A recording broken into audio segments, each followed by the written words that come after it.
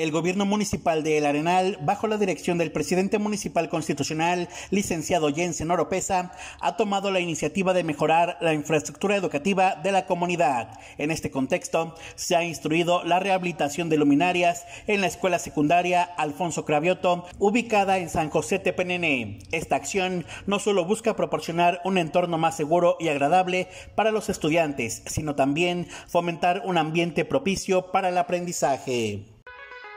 Licenciado Jensen Denoni Oropesa, a nombre de todos los padres de familia de la Escuela Alfonso Cravioto, le reiteramos nuestro más este, sincero agradecimiento por el apoyo que nos ha brindado el día de hoy con el alumbrado público de la escuela.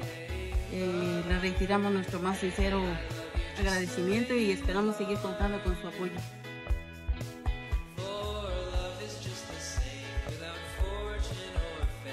Oscar Recendis para Mezquital al Día.